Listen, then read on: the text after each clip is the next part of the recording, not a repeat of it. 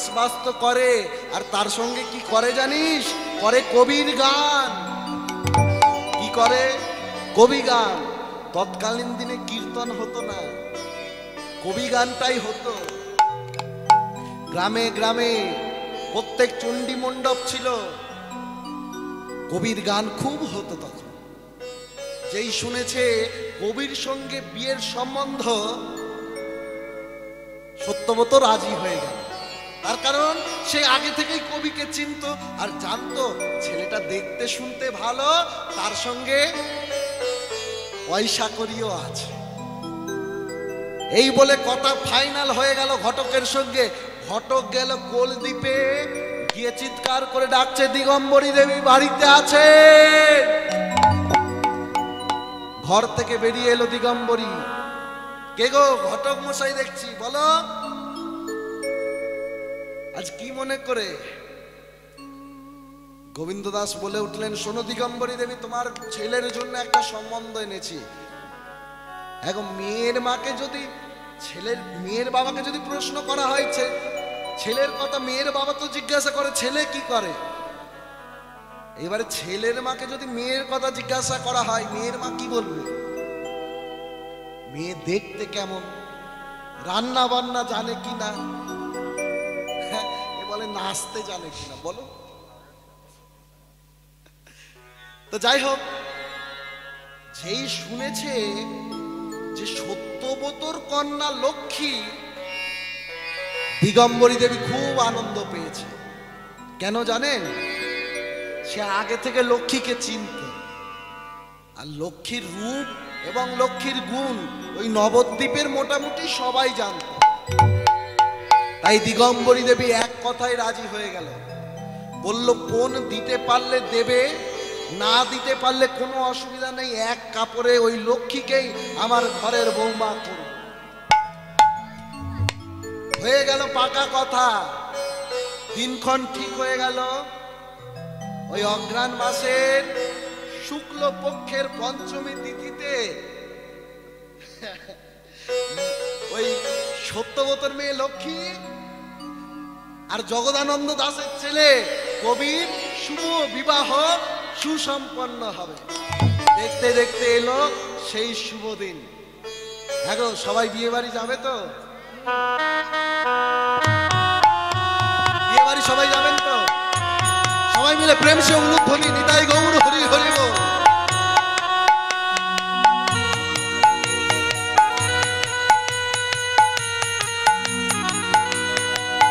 আস্তে আস্তে আস্তে আস্তে আস্তে। আস্তে এই যে, সবাই বিয়ে বাড়ি যাব তো? যে যে যাবেন না একবার, যে যে যাবেন একবার হাত তুলুন। খুব ঠান্ডা না? সবাই যাব তো? এবারে হাত যে হাত যে তুলেছেন গিফটগুলো কোথায়? হ্যাঁ? বলে পকেটে আছে।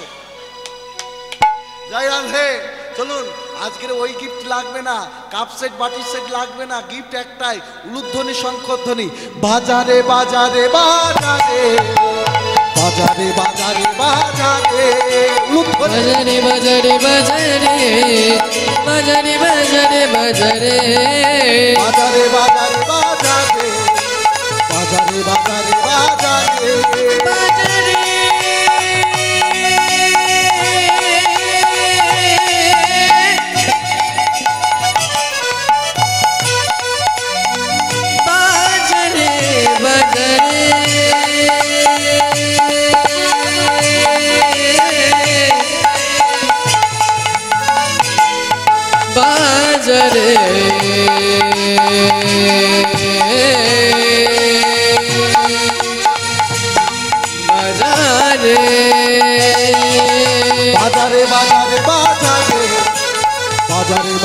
बाजा रे बजर बजर बजर बजर बजर बजर শাখ বাজা উলুতে লক্ষ্মী মায়েরা জিবিয়ে শাখ বাজা উলুতে লক্ষ্মী মায়েরা জিবিয়ে শুনতে পাচ্ছি শাখ বাজা উলুতে হরি হরি মায়েরা জিবিয়ে শাখ বাজা উলুতে লক্ষ্মী মায়েরা জিবিয়ে শাখ বাজা উলুতে লক্ষ্মী মায়েরা জিবিয়ে শাখ বাজা উলুতে লক্ষ্মী মায়েরা জিবিয়ে শাক বাজাউলু রে লক্ষ্মী মায়ের আসবে শাক বাজাউলু রে লক্ষ্মী মায়ের আসবে বাজারে বাজারে বাজারে বাজারে বাজারে বাজারে বাজারে বাজারে বাজারে বাজারে বাজারে বাজারে বাজারে বাজারে বাজারে।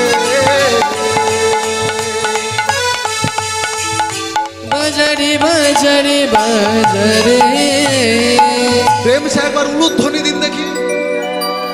হরি আজকের শঙ্খ বাজছে, উলুধ্বনি বাজছে, লক্ষ্মী সানাই বাজছে, আর ওদিকে লক্ষ্মী আর কবির বিয়ে হচ্ছে। সবাই মিলে নিতাই গৌর হরি হরি। বিয়েটা কেমন ভাবে হয়? লক্ষ্য রাখতে হবে। হয় তারপরে কি হয়? মালা বদল। সাত পাকের জোড়া সিঁদুর দান কন্যাদান যা কিছু হয় আর সব হয়ে গেল। সব শেষে কি হয়? সবশেষে বিবাহ আসর থেকে বেরিয়ে আকাশের দিকে তাকিয়ে একটা জিনিস দেখায়। বলুন তো কি?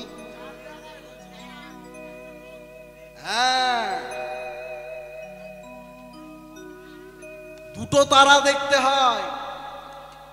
হ্যাঁ একটা তারার নাম অরুন্ধতী, একটা তারার নাম বশিষ্ঠ। এত জায়গায় কীর্তন করেছি, কেউ সহজে বলতে পারে না। হ্যাঁ? এই দাদা বলেছে, খুব সুন্দর। সবাই বলে, সুখ তারা, শুক্র তারা, সন্ধ্যা তারা। বলছে, বিয়েটা ভালো করে করেছিল। যাই হোক, তারা দুটোর নাম অরুন্ধতী আর বশিষ্ঠ এই তারা দুটোকে কেন দেখতে হয়? তারা দুটো জন্ম জন্ম একই জায়গায় একসঙ্গে আছে। এই তারা যদি নবদম্পতি দেখে, তারাও সারা জীবন একসঙ্গে থাকে। এই দেখুন, আমাদের সনাতন ধর্মে, হিন্দু ধর্মে বিবাহ আছে, বিবাহের মন্ত্র আছে। বিবাহ বিচ্ছেদের কিন্তু কোনো পুজো আশ্রা মন্ত্র নেই। কি বাবা, আছে? অন্যান্য ধর্মে তালাক তালাক তালাক হয়ে গেল, হরে কৃষ্ণ। কিন্তু আমাদের হিন্দু ধর্মে কোনো বিবাহ বিচ্ছেদ আছে? নেই। ডিভোর্স তো আইনে বের করেছে। ও তো ভারত সরকারের আইন। কিন্তু আমাদের হিন্দু শাস্ত্র মতে কোনো বিবাহ বিচ্ছেদ নেই। একবার যদি বিবাহ করেছ, জন্ম জন্মান্তরে। হরে কৃষ্ণ। বলছে সিরিয়াল হচ্ছে দেখুনি গাছ ছড়া। আমি বাবা দেখিনি বাবা দেখ। তো যাই হোক শাক বাজছে উলু বাজছে লক্ষ্মী আর কবির বিয়ে হচ্ছে। ভাবটা কেমন? আজি ঢাক বাজে ঢোলক বাজে মাতলেরি বল ঢাকি বাজে ঢোলকে বাজে মাদলেরি বল ঢাক বাজে ঢোলক বাজে। বল আজি ঢাকি বাজে ঢোলকে বাজে মাদলেরি বল লক্ষ্মী কবির বিবাহেতে আনন্দেরি দোল। আজ লক্ষ্মী কবির বিবাহেতে আনন্দেরি বল লক্ষ্মী কবির বিবাহেতে আনন্দেরি দোল। আজ লক্ষ্মী কবির বিবাহেতে আনন্দেরি বল কেহ নাচে কেহ গায় কেহ বলে হরি। কেহ নাচে কেহ গাই কেহ বলে হরি। আনন্দে নারীগণে দেয় উলুধ্বনি। আজ আনন্দে নারী গুনে দেয় উলুর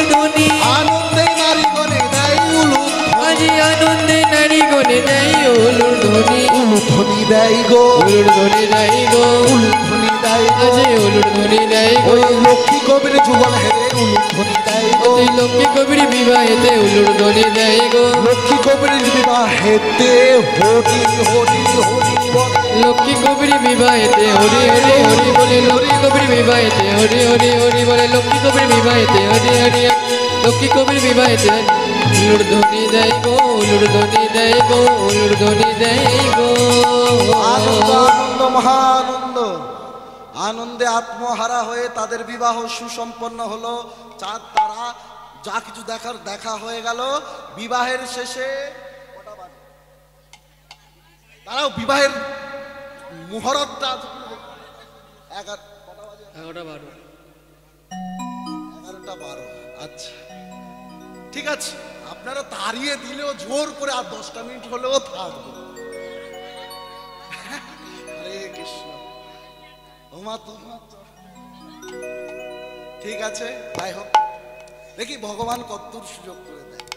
তার ইচ্ছাই সমস্ত কিছু। তো যাই হোক, আনন্দে আত্মহারা হয়ে বিয়ে হয়ে গেল। বিয়ের পর সবাই কোথায় যায়? বাসর ঘরে। বাসর জাগার নিয়ম আছে। কিন্তু সবাই বাসর ঘরে গেলেও কি হবে? লক্ষ্মী কোথায় গেল জানেন? সবাই যখন গেল বাসর ঘরে লক্ষ্মী ছুটে গেল নিজের ঠাকুর ঘরে। ভগবান। ভগবান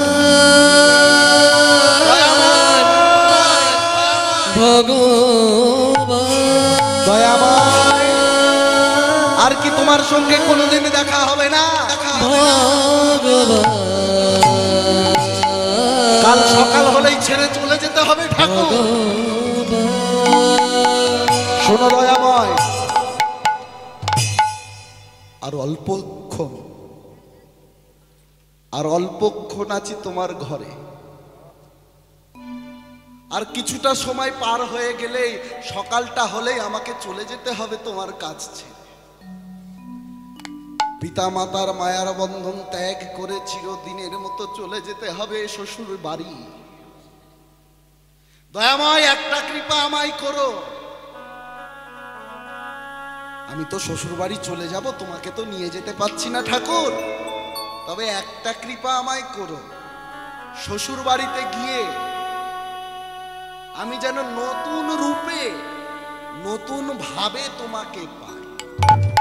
দেখতে দেখতে সকাল হয়ে ওই লক্ষ্মীর যত বান্ধবীরা ছিল এসে ঠাকুর ঘরে টোকা দিচ্ছে।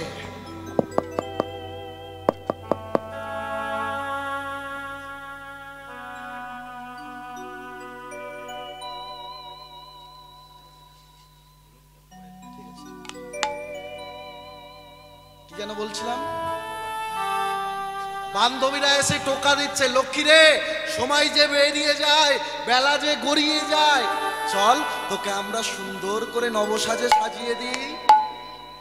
আজ লক্ষ্মী শেষবারের মতো প্রাণ গোবিন্দের কাছ থেকে বিদায় নিয়ে, শেষবারের মতো ভগবানকে প্রণাম জানিয়ে, চলে এলেন ঘরের ভেতরে। সখীরা, তার বান্ধবীরা সুন্দর করে সাজিয়ে দিল। নব দম্পতিকে বরণ করা হলো। মা পিছন থেকে আঁচলটা ধরে আছে। মেয়েটা হাতে দেয়া হলো কটার চাল। বলা হলো, লক্ষ্মী, মায়ের আঁচলে ছুঁড়ে ফেল আর বল সারা জীবনের মতো তোমার সর্বঋণ শোধ করে চললাম লক্ষ্মী আজ চালের থালাটা হাতে নিয়ে তার হাত থরথর করে কাঁপছে। নয়ন জলে বুক ভেসে যাচ্ছে, বলে, মাগো, এ জনম কেন? জনম জনম যদি তোমার কোলে জন্মাতে পারি তবু তোমার ঋণ আমি শোধ করতে পারব না। কিন্তু মা যাওয়ার বেলা বলে যায়, যাওয়ার বেলা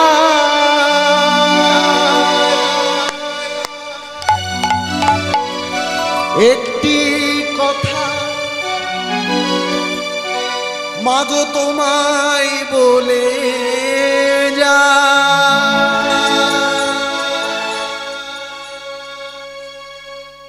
জনম জনম মাহি শোবে তোমায় যেন বেলা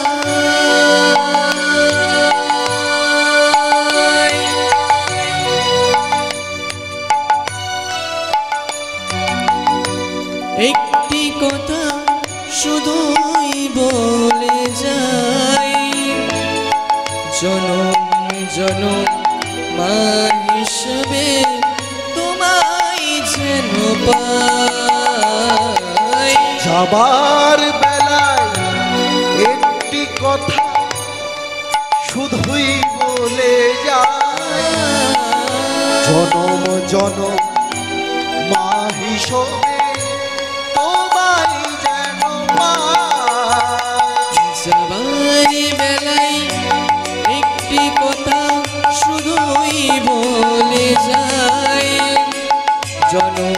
জনম মায়ের সবে তোমায় যেন আমি চলে যাই শুধুই বলে যা। চলে যা।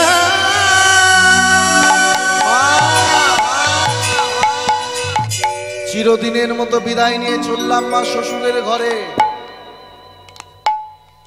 আজ থেকে তুমি হলে পর, ওরা হলো আপন। চিরদিনের মতো মায়ের কাছ থেকে বিদায় নিয়ে লক্ষ্মী চলে যাচ্ছে শ্বশুর ঘরে। আজকালকের দিনে স্করপিও গাড়িতে করে বিয়ে হয়, তৎকালীন দিনে কিসে করে বিয়ে হতো? কিসে করে বিয়ে হতো? পালকি করে। আজ পালকিতে করে লক্ষ্মী চলে যাচ্ছে। পাড়া প্রতিবেশীরা সবাই এগিয়ে দিতে যাচ্ছে। আমরাও একটু এগিয়ে দিই। লক্ষ্মী মাতা লক্ষ্মী মাতা সেজে গুজে শ্বশুর বাড়ি যায়। মাতা পিতা প্রতিবেশী নয়ন ভাষায় নয়ন ভাষায়। লক্ষ্মী মাতা লক্ষ্মী মাতা। এই লক্ষ্মী মাতা সেজে গুজে শ্বশুর বাড়ি যায়। মাতা পিতা প্রতিবেশী নয়ন ঝুড়াই রে নয়ন ঝুড়াই লক্ষ্মী মাতা লক্ষ্মী মাতা লক্ষ্মী মাতা সেজে গুজে শ্বশুর বাড়ি যায়। মাতা পিতা প্রতিবেশী নয়ন ভাষায় রে নয়ন ভাষায়। লক্ষ্মী মাতা লক্ষ্মী মাতা লক্ষ্মী মাতা। সেজে গুজে শ্বশুর বাড়ি যায়। মাতা পিতা প্রতিবেশী নয়ন ঝুড়াই রে নয়ন ঝুড়াই হুহুনা রে হুহুনা হুহুনা রে হুহুনা হুহুনা রে হুহুনা হুহুনা রে হুহুনা। হুনারে হুনা হুনারে হুনা হুনারে হুনা হুনারে হুনা হুহুনা রে হুহুনা। হুনারে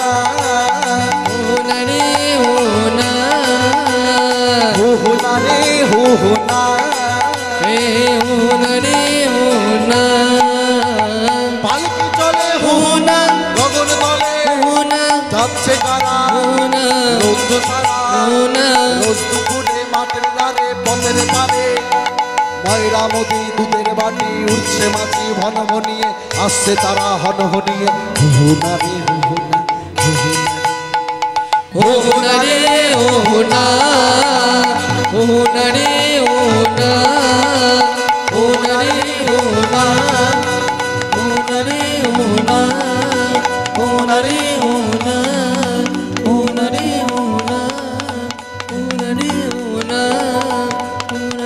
ওনা পালকি দূরে চলে গেল। যখন পালকি এসে দাঁড়াল, ওই শ্বশুর বাড়ি অর্থাৎ জগদানন্দ দাসের বাড়ির সামনে অনেক লোক জমা হয়েছে। বলুন তো, কি দেখতে? হ্যাঁ নতুন বউ দেখতে। নতুন বউ দেখতে সবাই দাঁড়িয়েছে আর তার মাঝখান থেকে একজন বরণডালা হাতে নিয়ে এগিয়ে এলো। বুঝতে বাকি রইল না, ইনি হলেন সেই সর্বনাশী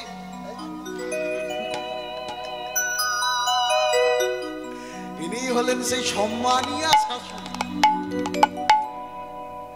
ভুল করে বলে ফেলেছি, মা, অপরাধ নিও না। শাশুড়ি হলো ভগবানের সমান। সর্বদা প্রণাম করতে হয়।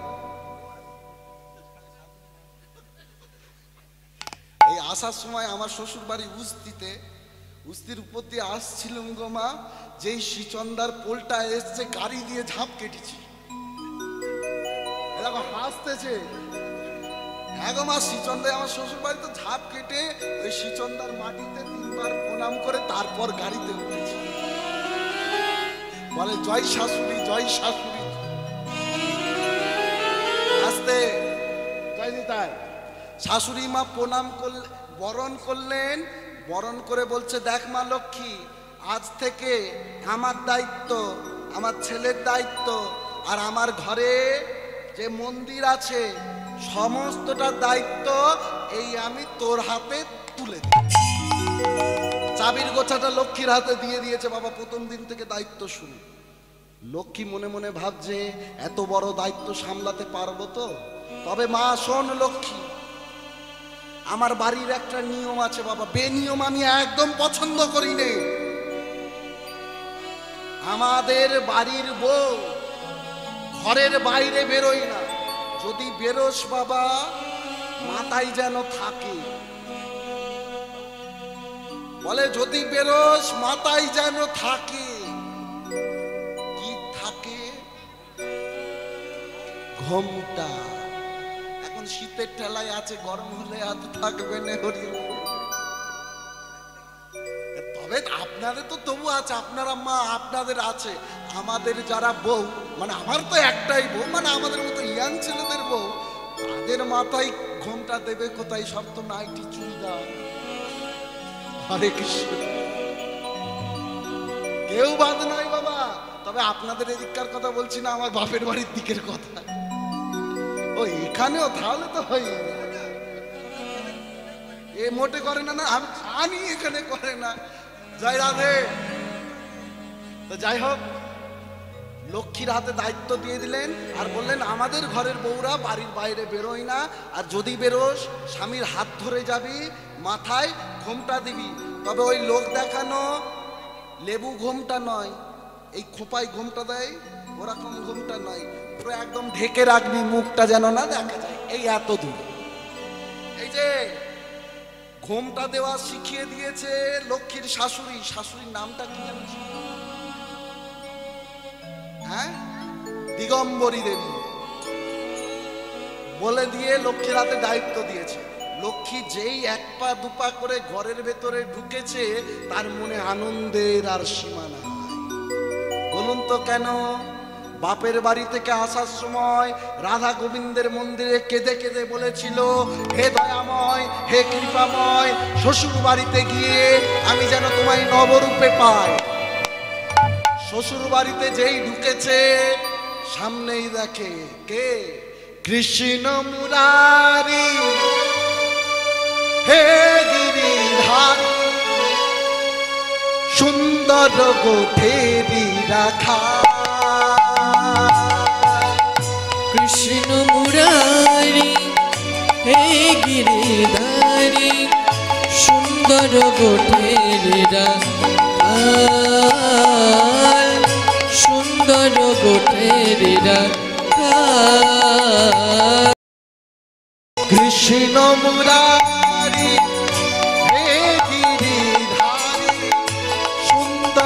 সুন্দর রাখা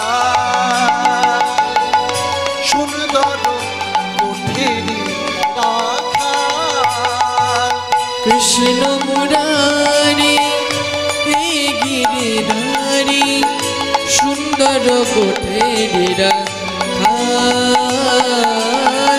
সুন্দর গোঠেরা ভগবান শ্রীকৃষ্ণকে দেখে তার মনে আনন্দের সীমা নাই। ভগবানকে বলছে, দয়াময় তুমি তো দিনের বন্ধু, তুমিই করুণা আর সিন্ধু। আমি যেমনটা চেয়েছিলাম, ঠিক তেমনটাই হয়েছে। দীন দয়াল তুমি, দীন জনের বন্ধু, ইহকালে প্রেমদাতা বড় পারের বন্ধু। দীন দয়াল তুমি, দীন জনের বন্ধু। ইহকালের প্রেমদাতা পরকালের বন্ধু। কৃষ্ণ মুরারি হে গিরিধারী সুন্দর কোঠেরি রাখা সুন্দর কোঠেরি রাখা হরে কৃষ্ণ হরে হরি। কৃষ্ণ হরে হরে হরে রাম হরে রাম। রাম রাম হরে হরে হরে কৃষ্ণ হরে কৃষ্ণ কৃষ্ণ কৃষ্ণ, হরে হরে হরে রাম হরে রাম। রাম রাম রাম হরে হরে। আজকে ভগবানকে পেয়ে আনন্দের সীমা নাই, এমনি ভাবে আনন্দে আহ্লাদে তাদের দিন কেটে যাচ্ছিল। একদিন হয়েছে কি যখন দিরাগমন শেষ হয়ে গেছে মানে যেটাকে বলে বা অনেক জায়গায় বলে ঘটে প্রণাম করতে যাওয়া, যাই বলুন না কেন দিরাগমন যখন শেষ হয়ে গেছে, কবি ঘরে ফিরে এসেছে, কবির মা, অর্থাৎ দিগম্বরী দেবী কবিকে বলছে, কবি রে, অনেকদিন তো নতুন বউটাকে নিয়ে সময় কাটালি, এইবারে যে কাজে বেরোতে হবে বাবা। কবি কি কাজ করতে বলেছিলাম? কবি গান। এইবারে কবি মায়ের আদেশে বাইরে বেরিয়ে গেল, কোথায় কবি গানের বাইনা পাওয়া যায়? দেখতে দেখতে দু চারটে গ্রাম পরেই এক জমিদারের বাড়িতে কবি গানের বাইনা হয়ে যেই না বাইনা হয়েছে, কবি ঘরে ফিরে কবি গানের জন্য মহড়ার আরম্ভ করল মহড়া, যাকে বাংলায় বলে রিহার্সাল মানে ইংরাজিতে বলে, কিন্তু সেই শব্দের সঙ্গেই আমরা পরিচিত। রিহার্সাল শুরু করে দিল। এই দেখুন, লক্ষ্মীকে শাশুড়ি মা কি বলেছে বাড়ির বাইরে বেরোতে? না।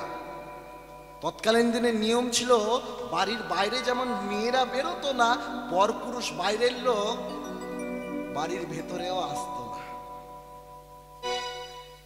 বাড়ির বাইরের এক দানালে কবি যখন কবি গানের মহড়া করছে, ভগবানের নাম গান করছে।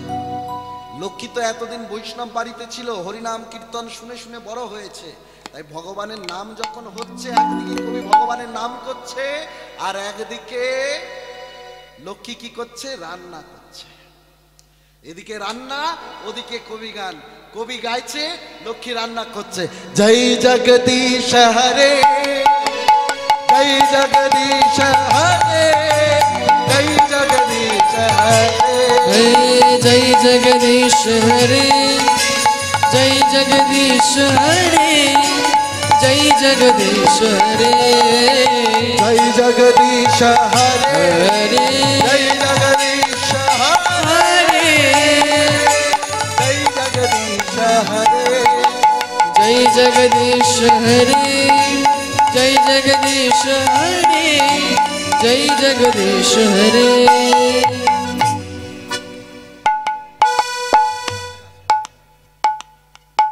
কি একটা পুরো পুরো বলে তরকারিটা যাচ্ছে এখন পুরে আসলে লক্ষ্মী ওই হরিনাম শুনে ভগবানের নাম গান শুনে আর বসে থাকতে পারেনি ছুটে চলে গেছে গিয়ে বরের পায়ের কাছে চুপচাপ বসে আছে। আর তরকারি তো উনুনে চাপানো ছিল, তরকারি এখন গেছে পুরে শাশুড়ি মা পোড়াগন্ধ যেইটা পেয়েছে, রান্নাঘরে গিয়ে দেখে পোড়ামুখী নাই। ও লক্ষ্মী! একা বউটা কোথায় গেল তোরা লক্ষ্মীকে খুঁজতে খুঁজতে খুঁজতে খুঁজতে বাড়ির বাইরে যেই বেরিয়েছে গো মা, দেখছে লক্ষ্মী বরের পায়ের কাছে বসে আছে। আর পাড়ায় একটা ইয়াং ব্রাহ্মণ ছিল।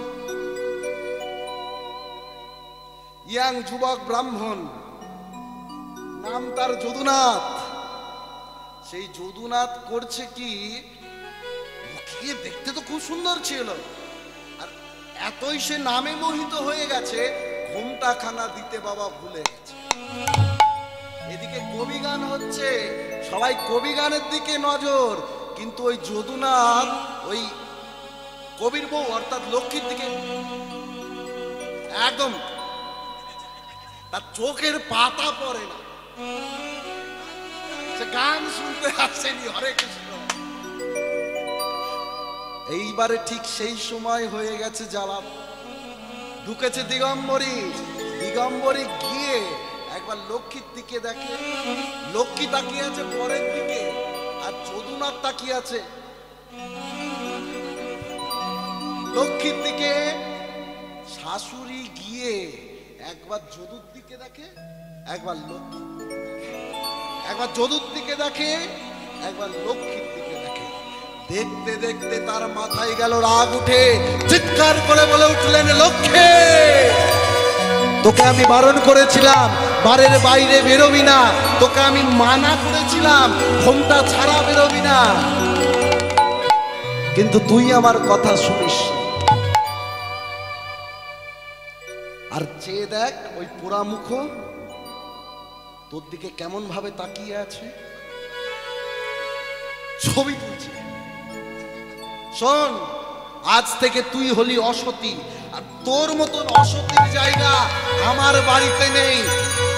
চাবিটা আঁচল থেকে খুলে নিয়ে ছেলের হাত ধরে টানতে টানতে চলে গেল ঘরের ভেতরে, গিয়ে দরজাখানা বন্ধ করে দিল।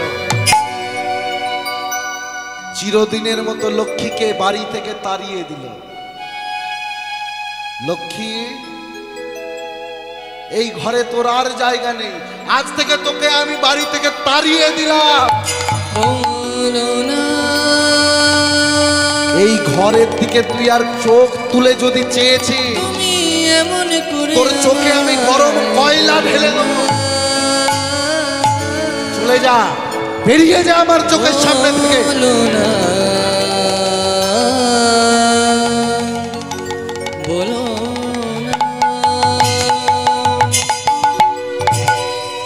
সশব্দে ঘরের দরজাটা যখনই বন্ধ করে দিয়েছে, লক্ষ্মী দরজার বাইরে দাঁড়িয়ে ডুকরে ডুকরে কাঁদছে।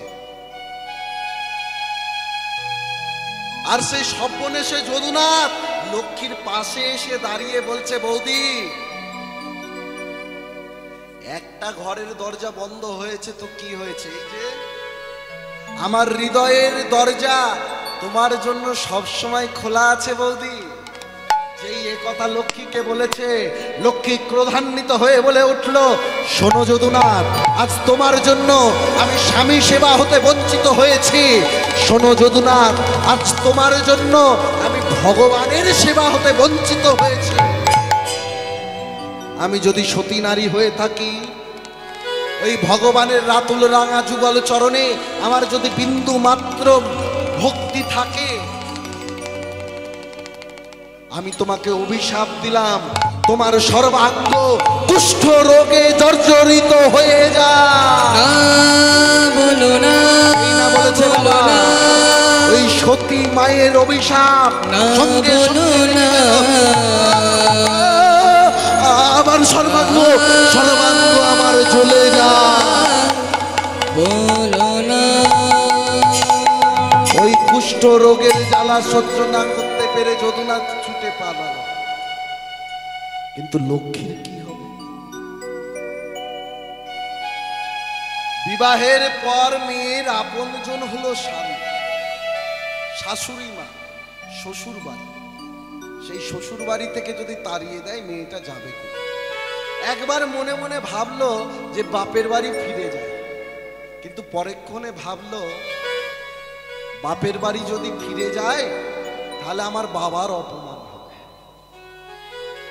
বাবা আমার বড় কষ্ট পাবে, তাই আমি বাপের বাড়ি ফিরে যাব। আমি আজ ওই সুরধ্বনির জলে ঝাঁপ দিয়ে প্রাণ ত্যাগ করব। এই বলে ছুটে ছুটে লক্ষ্মী চলেছে। ছুটতে ছুটতে ছুটতে ছুটতে সুরধনির তীরে এসে দাঁড়িয়ে যেই না ঝাঁপ দিতে যাবে ধরেছে লক্ষ্মীর হাতটা ধরেছে কে? কে আমার হাত ধরলে তুমি? কি তোমার পরিচয়? ওরে মেয়ে, তুই এ কি করতে যাচ্ছিলিস? কে হাতটা ধরলো মা? উনি হলে পতিতা পল্লী।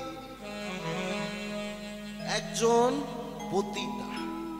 এনার কাজ কি? ওই বাচ্চা বাচ্চা মেয়েগুলোকে এখান ওখান থেকে জোগাড় করে আনে এবং তাদেরকে নাচ গান শিখিয়ে বাইজি করে। দেখুন, একটা মেয়ের জীবন কেমন ভাবে পরিবর্তন হয়ে গেল। ছিল সে কৃষ্ণ ভক্ত, হয়ে গেছে একটা বাই ছলনা করে বলে উঠলেন, ওরে, তুই আমাকে চিনতে পারিসনি? আমি যে তোর মাসি। বলে, মাসি? তোমাকে তো কোনোদিন দেখিনি। ও, দেখবি বা কেমন করে। আমি তো তোদের বাড়ি গিয়েছিলাম যখন তুই এইটুকুটা ছিলিস। এই বলে মিথ্যের আশ্রয় নিয়ে লক্ষ্মীকে নিয়ে এলেন নিজের আখড়ায়। আসলে লক্ষ্মীকে দেখতে খুব সুন্দর ছিল তো। ওই রূপ দেখে মনে মনে ভাবলেন, একে নাচ গান শেখাবো। তারপরে অনেক অনেক টাকা দিয়ে বিক্রি করে দেবো। এই বলে নাচ গান শিখিয়ে পারদর্শী করে তুললেন। এবারে যখন লক্ষ্মী নাচ গান শিখে গেছে, লক্ষ্মীর বয়স হয়েছে ষোলো। লক্ষ্মীকে নিয়ে গেলেন রাজা রামচন্দ্র খায়ের দরবারে, বেনাপোলের রাজা। হ্যাঁ বেনাপোলের রাজা রামচন্দ্র খায়ের দরবারে নিয়ে গেলেন মহারাজ, আর আজ- আজকের আপনার জন্য এক সুন্দর উপহার এনেছি। বলে, বলো না মাসি কি এনেছো? বলে, শুধু বলব না, দেখাবো। তবে বাবা, আমার কিন্তু দামটা একটু বেশি লাগবে। বলে, বেশি তো পাবে, আগে তো দেখি। যেই না লক্ষ্মীকে সামনে এনে দেখিয়েছে, লক্ষ্মীর রূপ দেখে রাজা মোহিত হয়ে গেল। বলে উঠল, এই মেয়ে, কি তোমার নাম? লক্ষ্মী নতমস্তকে অর্থাৎ মাথা নিচু করে উত্তর দিলেন, আগে রাজামশাই, আমার নাম লক্ষ্মী। রাজা রামচন্দ্র খা বলে উঠলেন, কি লক্ষ্যে না না না। ওসব ঠাকুর ঘরে ভালো লাগে। শোনো, আজ থেকে তোমার নাম লক্ষ্মী নয়। তোমার অঙ্গে লক্ষ্য হীরার জ্যোতি। আজ থেকে তোমার নাম আমি দিলাম লক্ষ্য হীরা। লক্ষ হীরা। লক্ষ্য হীরা। লক্ষ হীরা। আজ থেকে তুমি হলে লক্ষ হীরা। বুঝতে পারলেন? বাবা মার আদরের মেয়ে লক্ষ্মী হয়ে গেল।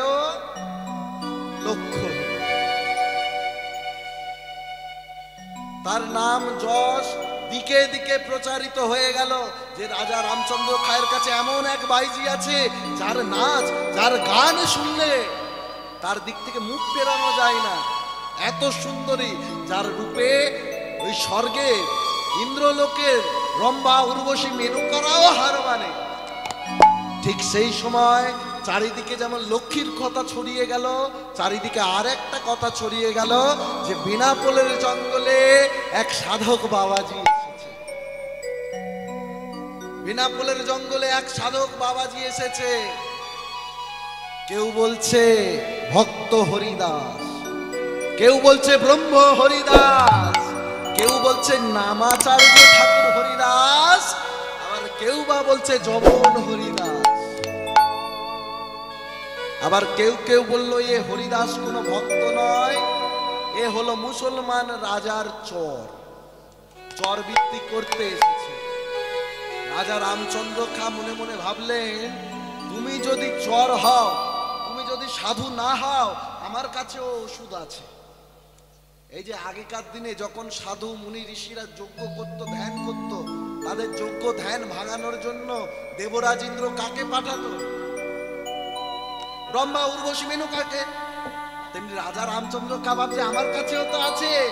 ওদের থেকে কোনো অংশে কম নয়, লক্ষ হীরাকে পাঠানো। হলো লক্ষ হীরা গিয়ে ভাবছে যে আমি তিন দিন যাব তোমার কাছে, আর তিন দিনের মধ্যে প্রমাণ করব তুমি কোনো প্রকৃত সাধু নও তুমি একজন ভণ্ড।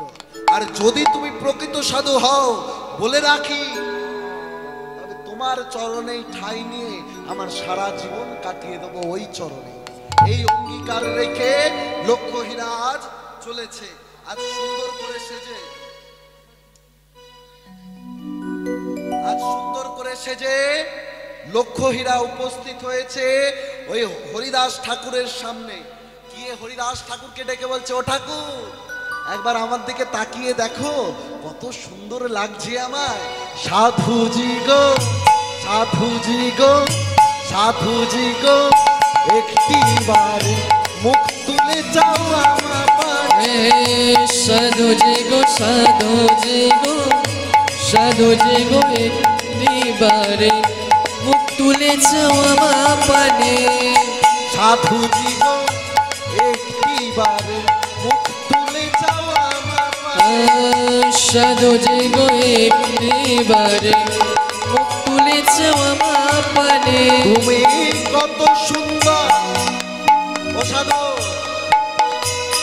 কেউ কি তোমাকে কোনোদিন বলেছে?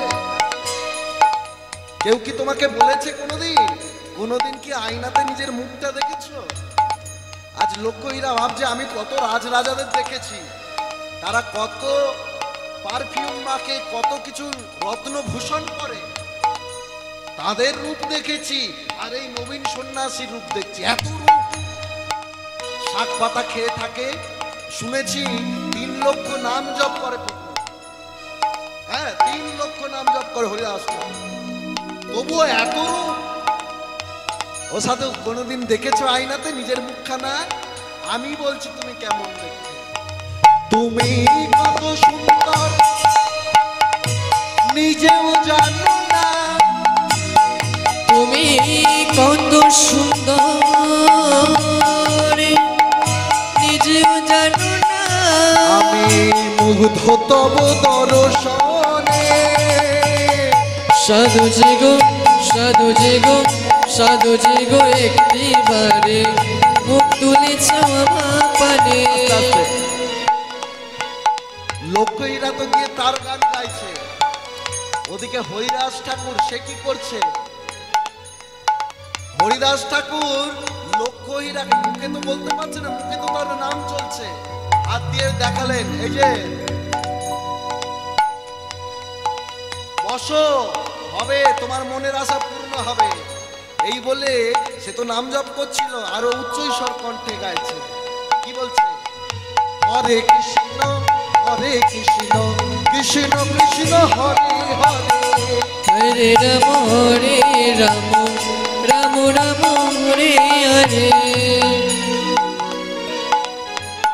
লক্ষ্যহীরা বসেছিল।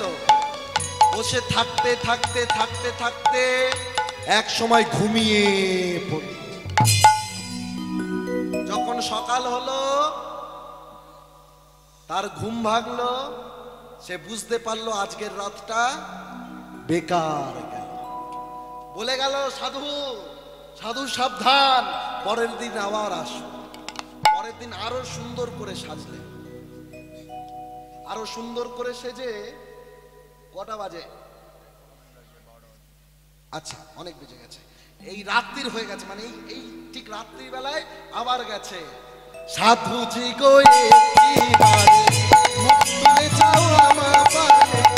সাধু গো একটি বারে যে।